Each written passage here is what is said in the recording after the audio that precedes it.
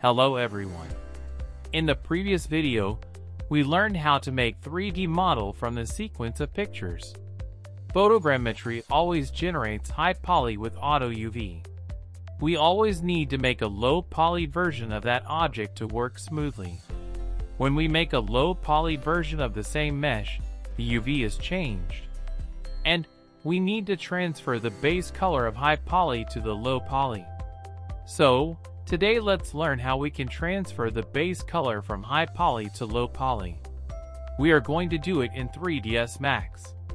There are loads of other tools which can perform the same action easily.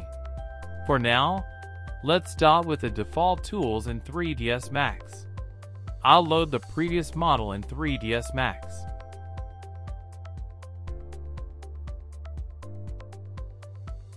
For the low poly model, I'll just create a plane. Let's make it square, so that we can make it tileable later on. Place it aligned with the high poly, like this.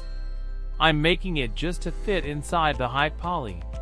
Now, we need to add the texture to high poly that is generated with photogrammetry. Let's create a shader, and apply it to the high poly mesh.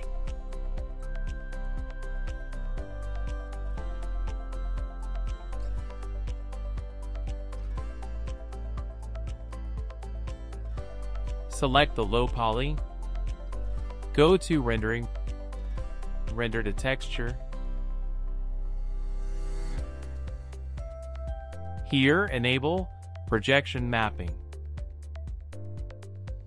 Click on Pick. From the new open box, choose your high poly mesh and click Add. In mapping coordinates, make sure to choose Use existing channel and choose the UV channel in which your UV is in. In my case, the UV is in channel 1.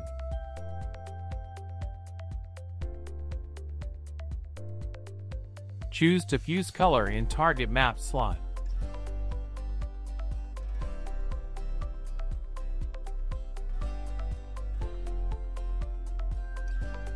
Now, choose the texture size of your choice. I'll choose 4K size to export and choose the location and the file type to save the generated texture file.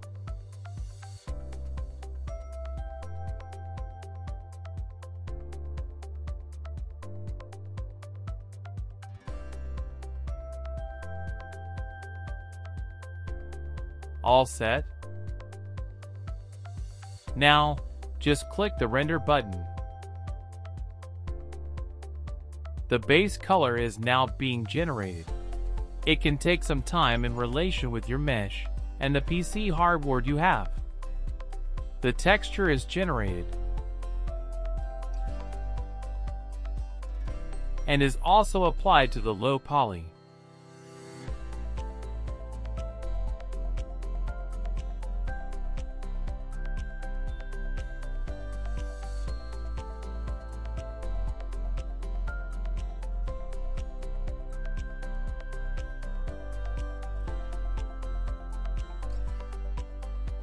We can check in the folder for the generated file.